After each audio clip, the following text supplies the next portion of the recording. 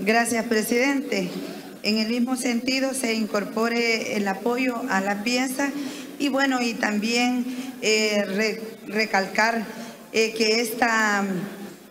eh, esto que vamos a aprobar ese día, declarar el 26 de julio de cada año como Día Nacional de la Conservación del Siste- Ecosistema de Manglar, va a permitir la visualización de la problemática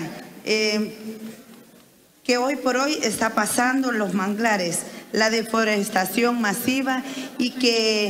eh, es importante eh, eh, decir que ese día se va a poder visualizar y que el gobierno tome las providencias necesarias, el Ministerio de Medio Ambiente, la- las organizaciones que apoyan a recuperar el, eh, nuestros manglares, nuestros... eh, todo lo que nos eh, afecta para eh, la conservación del medio ambiente. Es eh, importante